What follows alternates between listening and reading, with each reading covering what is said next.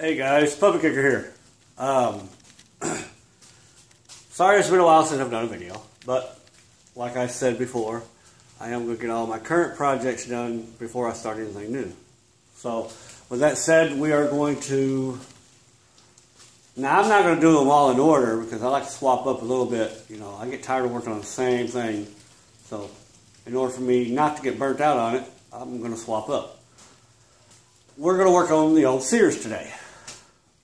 So, let's get busy.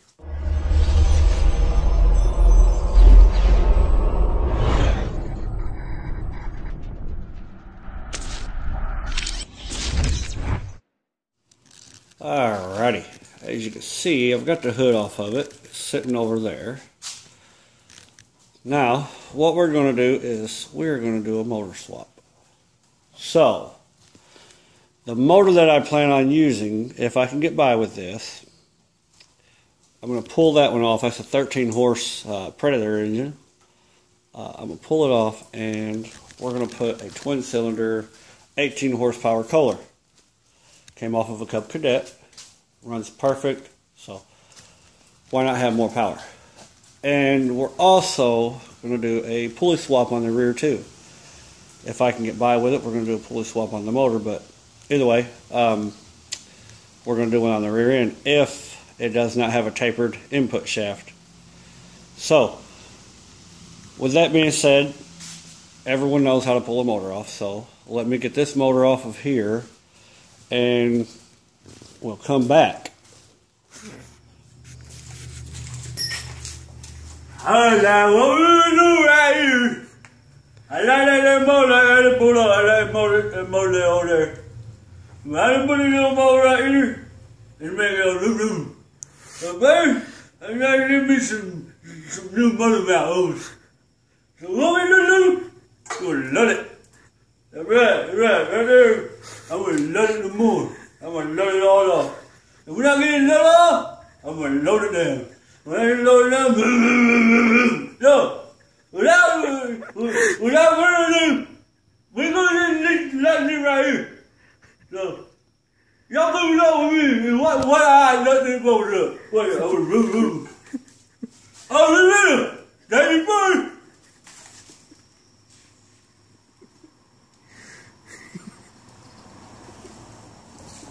What I need to look at that? Hang on. Alright. We gotta right here. Oh, none of my got If we come wrong, we got Wheeler, we back it whole back up.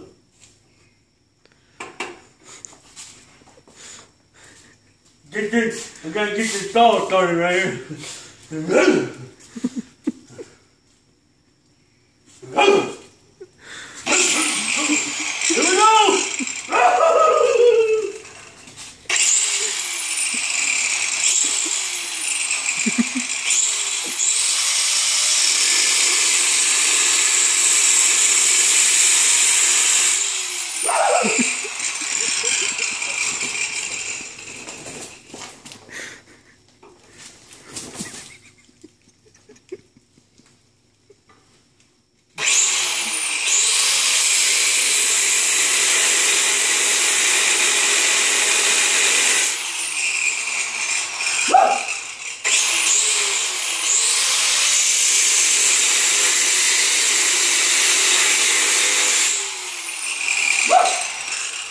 Well, I tell you what, I'm gonna touch something good right there. Whew, out of there. Right, y'all, we right here now, out here, we're back. Okay. Alright, guys. Different day. This is actually the next day. But as you can see, I've got the motor uh, bolted down in there. I'm going to pull it back out for a repaint of the, the whole mower itself. But uh, anyhow, I've got the mower, the motor in there. Uh, I redesigned the clutch mechanism. Let me see. I had to cut some extra metal out of it, and as you can see, what I've done is welded this cross brace in there, and I took the stock clutch out, of the uh, the brace that was in there that ran across it here, and I welded it across the quarter inch flat stock here. And if you'll notice over on this side, I had to cut the hood for the motor to, to fit in there. But anyhow, moving on. Uh, I don't want stock pulley size, so that's the other pulley I had for the motor that is actually either inch and an eighth or inch and a quarter shaft. So I've got the rear end out, got the pulley off of it. And in case you all were wondering, if you look down there, you can notice that input shaft right there is tapered. So the next best thing for me to do is I've got the pulley off and I've put it through my drill press over here and I drilled out every one of the rivets that were around it. All right. And it had little indents that helped keep it up inside of there, as you can see. So what I done was I drilled the indents out, or the, the rivets out, I'm sorry, the spot welds there, I'm sorry. And I took it to the press, and I pressed this piece out. This is the hub that's originally on the pulley. This is the stock pulley. This is what I wanted to use. I've done this method before, but once you turn this over sideways, you can notice this right here sticks out quite a bit. This is the new one I'm using. It's five and a half. Okay, once you put it on there, if you notice that does not stick out. So what I'm doing to compensate for that, taking two big washers. I put it on there, I'll center it up the best I can. But first, I have my washers over there in my vise. What I'll do is I'll weld around my washers first, and then I'll bring it over here. I'll center it up the best I can, put the hub on top of it like that, and I'll weld the spot welds on the hub. Also, I'll weld around the pulley. I've measured it. It's the same offset as this pulley is after I get it all done. So, I don't want to hear nobody saying, well, that pulley's going to be sticking out quite a bit because it's actually not. It's going to be sticking out the same. So, let me show you what I've, how I've got it set up over here on the, on the press. I'm sorry, the vise. I've just got it pinched up inside of there, as you can see. I've got it trued, top, bottom, sides. So what I'll do is I'll lay a couple of tacks right here, a couple of tacks under the bottom side. Then I'll be able to weld around it and it'll be a good solid weld. So let me get that done and we will come back. Alright guys, got this on here. Got my washers welded all the way around. Now what I'm going to do is tack weld it, flip it over, measure on each side to make sure this is pretty well centered. So, let me get my helmet on.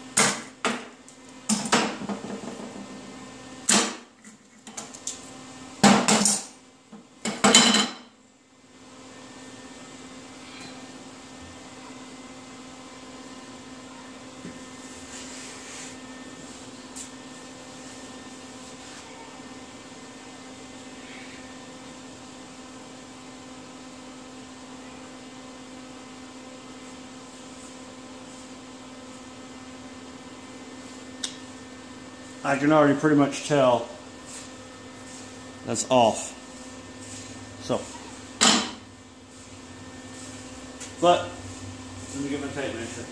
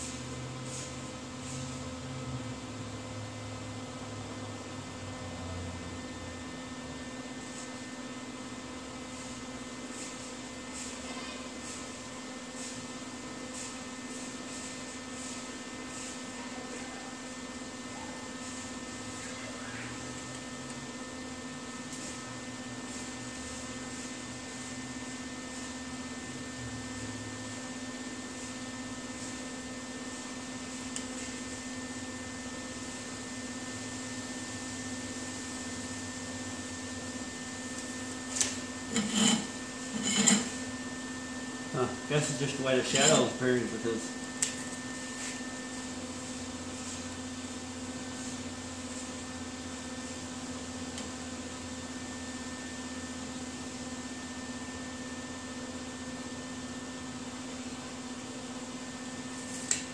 just about dead center.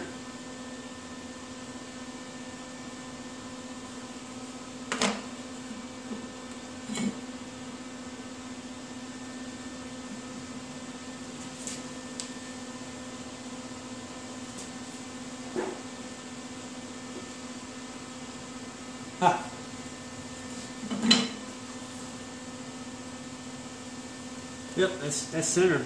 So now the way this will go, sit right down on top of that. Actually.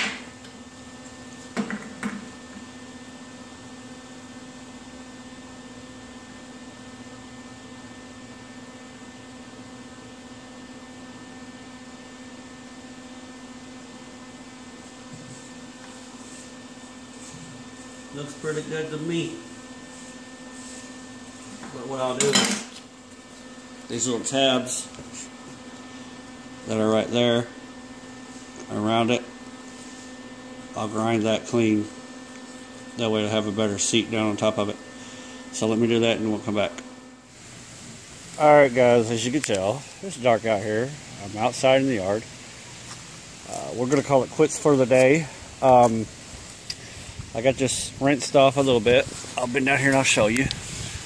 I got the pulley on there. Everything works. So what I'm going to do now is, while I've got this thing tore apart, for the next uh, probably week, week and a half, it's going to take me to clean everything up, degrease everything, um, paint it all up. That goes as well as the uh, the tractor itself. I'll paint it, clean it all up. So uh, I guess this will be a little series, but uh, it won't be going back together until I get it all painted up. Because, like I said, I've got it tore down this far, so why not do it now? This is the model number of the rear end.